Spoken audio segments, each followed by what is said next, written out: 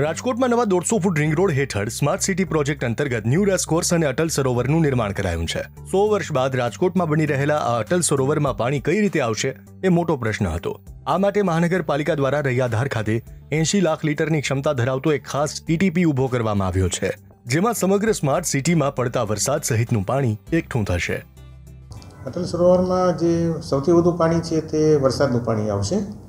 અને પછી જો જરૂર પડશે તો એમાં ટીટીપી જે આપણું ટર્સરી ટ્રીટમેન્ટ પ્લાન્ટ છે જે આ પચીસ તારીખે એનું લોકાર્પણ અ, થવા ભાજે તેમાંથી આવશે. આ પ્લાન્ટથી અટલ સરોવર સુધી લગભગ ત્રણ કિલોમીટર પાઇપલાઇન નાખવામાં આવી છે. અંદાજિત ચારસો સત્યોતેર એમએલડી ક્ષમતાના આ સરોવરમાં જ્યારે જરૂર પડે ત્યારે આ પ્લાન્ટ દ્વારા પાણી પૂરું પાડી શકાશે.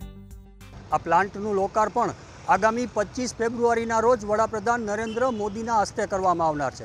આ પ્લાન્ટ દ્વારા અંદાજિત ત્રણ કિલોમીટરની પાઇપલાઇન દ્વારા પાણી અટલ સરોવરમાં પહોંચાડવામાં આવશે જેને લઈને આજી ન્યારી કે નર્મદાના પાણીની જરૂરિયાત રહેશે નહીં Pulin Parekh Divya Bhaskar Rajkot share and download કરો દિવ્ય ભાસ્કર એપ